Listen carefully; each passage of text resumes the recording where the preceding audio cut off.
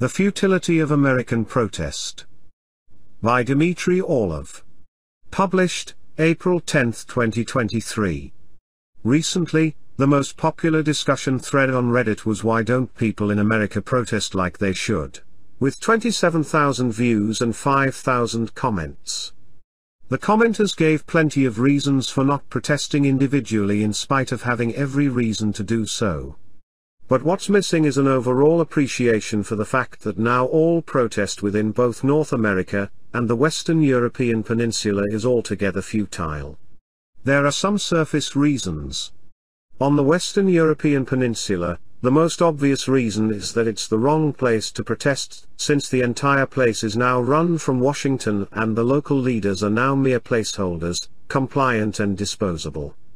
In turn, Protest in Washington is futile because the visible public figures against whom one might protest are not the ones in charge. John Kennedy was none too eager to get into a full-on war in Vietnam and got shot. Bill Clinton was none too eager to bomb Yugoslavia into submission and got Lewinsky'd. The same goes for the Europeans. Dominique Strauss-Kahn had some independent-minded ideas about the euro and got falsely accused and arrested for molesting a hotel maid. Eventually, the case was dropped, but by then his reputation and his career were already ruined. And who is really in charge? Well, you deserve to be punished just for asking the question. Those who know, know. Those who don't, don't need to. It was over 40 years ago that I had the following realization, America is not a country, America is a country club. Membership has its privileges. Non-members get to pick up lost golf balls or serve martinis or give massages, they certainly don't get to tell the club management what to do. None of the reasons for not protesting given by the Reddit readers went as far as identifying the root cause, and I would like to fill that gap. At the time I graduated from an American high school some 40 years ago, a few of my Russian friends who graduated with me, thinking along the same lines, hitchhiked to Alaska, there to hunt, fish, and grow weed. Some didn't even bother graduating, since they had no intention of ever working within this sick joke of a social system. I remember one of them in particular, who dropped out, then tutored in algebra, and trigonometry to those who hadn't. He had previously attended a Soviet school, making this dropout a professional mathematician in comparison to his American-schooled peers. I stayed in Boston and we parted ways, but I too looked for a road less traveled, and eventually settled into being a public money sponge, getting paid by the government to measure anomalous muon spin, look for proton decay, detect neutrinos from supernovas and other such pointless but amusing pursuits. I had several careers after that, but after some 20 years of gainful employment I definitely had enough, bought a sailboat, moved aboard with the wife, the cat, and, eventually, our son, sold the real estate and the car, and went sailing. That was fun for a while, as an interim solution, but the final solution was to move back to Russia. Thus, both for me and for my Russian schoolmates, the response to America, love it or leave it, was an unequivocal leave it, be it for US-occupied Russian Alaska, the 99-year lease on it expired back in 1966, or for Russia proper. The reasons given in the Reddit thread for Americans not wanting to protest are useful in that they show the degraded state of American everyday life, being simultaneously reasons to protest and reasons not to. But they do not present the root cause, which I will get to later. First, the reasons the Americans themselves give. Most people can barely make ends meet from paycheck to paycheck, and the system is structured in such a way that the loss of a job immediately leads to the loss of a place to live, health insurance, and, in general, being ejected from one's normal social milieu. Many people are forced to work more than one job or to put in overtime, while the work schedule in the US is designed in such a way that it saps a person's strength much more than a similar job in Europe or elsewhere. Many people face hour-long commutes to and from their jobs and have to drive themselves instead of napping or relaxing along the way. They usually get a single half-hour unpaid break for dinner. They have no ability to be absent from work for any reason, even to visit a doctor. Many jobs allow for zero sick days over the initial six-month probation period. There are no paid vacations and no paid maternity or paternity leave. Mothers can be fired for staying home to take care of their sick children. The list of such indignities seems endless, but people have no choice but to continue at their jobs, persisting in a state of permanent repressed rage that gradually eats away at their souls. People live in permanent stress over unpaid bills and worry that they might get sick and, as a result, go bankrupt and become homeless together with the family members that depend on them, but in spite of this have to maintain a professional, cheerful demeanor until the falsity of the situation permeates and poisons their psyche. The end result is that most people are simply too debilitated to go out and protest. These are all very good reasons to go out and protest, but there are equally excellent reasons to avoid protests. In addition to the futility of protest mentioned above, American police, which are armed and equipped better than some militaries, are a caste that is separate from the rest of American society. Policemen mostly socialize among themselves and have a marked us versus them mentality. Most of the time they can shoot to kill with impunity, but once in a while a George Floyd comes their way and causes one of them to land in jail for 22.5 years. They are supposed to catch criminals, which is difficult and dangerous, but then prosecutors can refuse to press charges, judges can release these criminals, and even the ones that are sentenced to actual jail time are released because the jails are overflowing. Such uncertainty is sure to fill them with rage against the entire world that lies outside their closed ranks. Even without such newly fabricated vicissitudes, they were never a well bunch, with very high rates of alcoholism, divorce, and suicide. Unleash mentally unstable police on a protest, even a perfectly peaceful one, and there is every chance of a few people ending up dead. Many Americans blame the police for the maimings, shootings, and disappearances of protest leaders. There is the unfunny joke that the chances of catching a bullet from the police, or of simply disappearing, increase exponentially with the amount of melatonin in one's skin, protesting while black is a very bad idea indeed.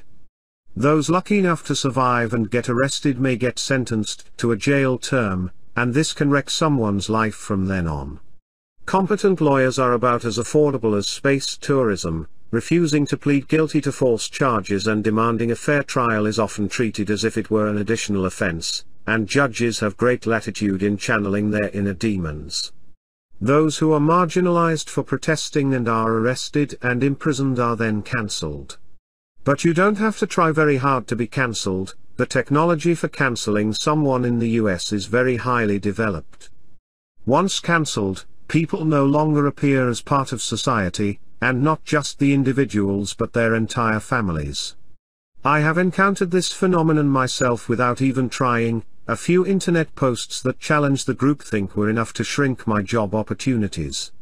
What do my opinions have to do with improving the performance of some important widget? I asked. Well, was the answer, the investors might balk, and the board of directors doesn't like this sort of thing. And if you no longer look right to investors or directors, then colleagues start treating you as if you were a leper, your all-important network for finding good job leads dries up, and it's pretty much game over. These are all excellent reasons both to protest, who wants to live like a slave to the rich, and not to protest, who wants to suffer for nothing. But I believe that the root cause for Americans not protesting is something different altogether. The best way to prevent slaves from revolting is to convince them that they aren't slaves, and the best way to do that is to fill their minds with false hopes of someday becoming slave owners. This, in contemporary America, has been done with amazing efficacy and finesse. At the heart of the technique lies America's operative state cult, which is the cult of mammon.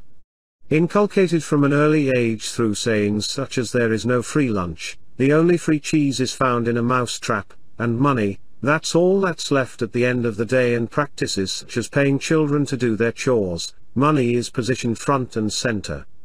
In America, everything, art and culture, religion, family life, even love, is soaked through and dripping with filthy lucre.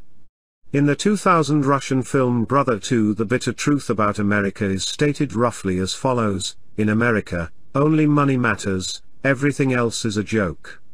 Whereas in Russia a person's status depends on numerous factors, such as educational level, professional achievement, service to the country, popularity and respect, and even the number of children one has, the more the better, in America, with very few exceptions, status is much simpler and depends on a single factor, the number of digits in a person's net worth. John Steinbeck is often quoted as having written the following, I guess the trouble was that we didn't have any self-admitted proletarians. Everyone was a temporarily embarrassed capitalist. It's not that every American expects to get rich, it's that every American who doesn't get rich feels that he's been beaten fair and square and in accordance with the twisted, crooked rules people in America have to play by to get rich.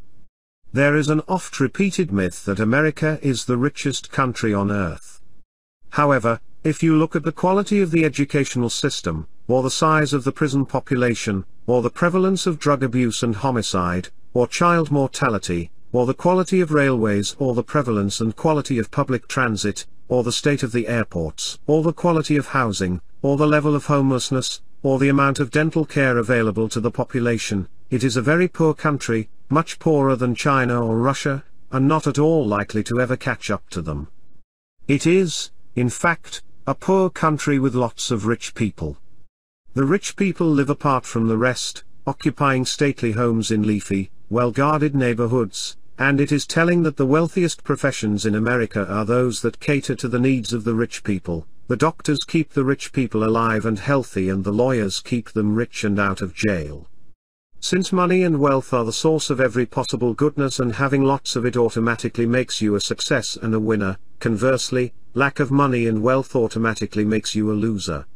You may be a brilliant poet or philosopher, but since that doesn't make you rich, you are a loser, in accordance with popular sayings, such as, if you are so smart, why aren't you rich?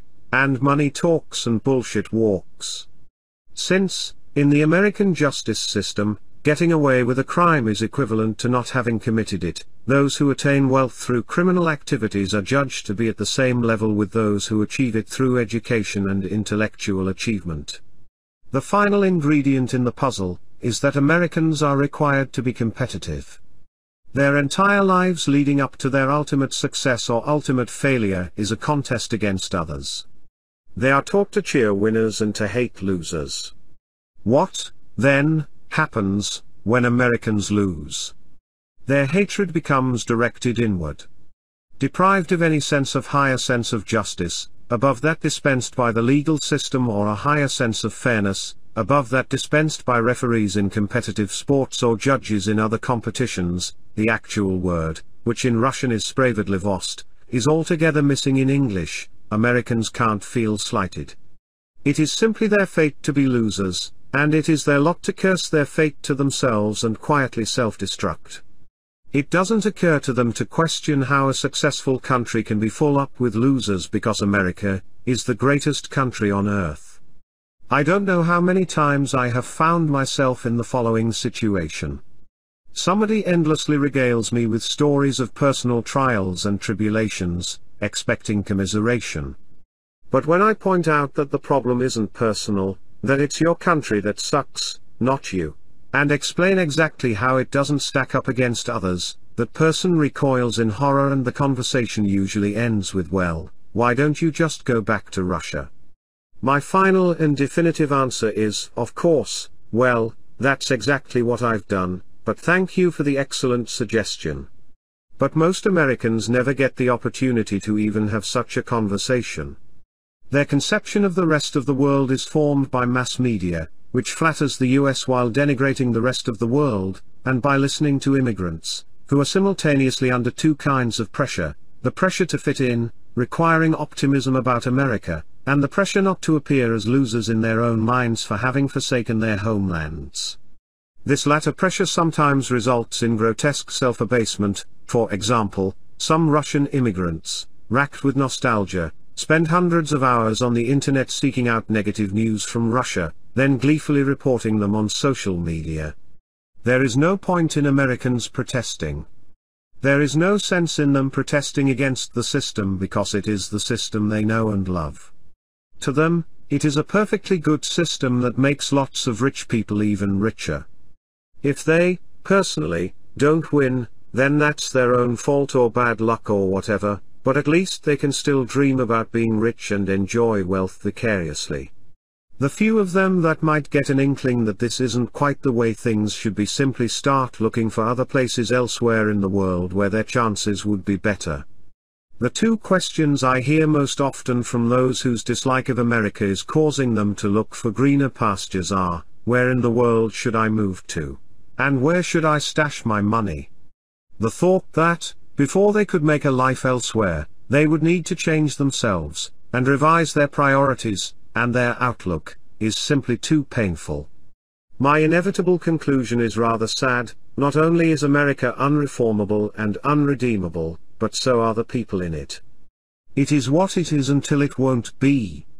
Over the years, I have tried tackling the problem from every possible angle, starting with Soviet-style superior collapse preparedness, to organizing semi-autarkic self-sufficient communities, to making conscious, liberating choices on the use of technology, to simply sailing away from it all, but to no avail, apparently, none of what I proposed smelled enough of success. A lifetime of humble labor of love is of no interest to someone who just wants a car that goes real fast and gets shitty gas mileage. And that's what most Americans want, and if they can't get it, what they want to do is complain, not protest, since that would be silly. And that, I suppose, is exactly as it should be. This podcast was brought to you by BG Media. Download the BG Media app today or visit barglobal.net for more podcasts.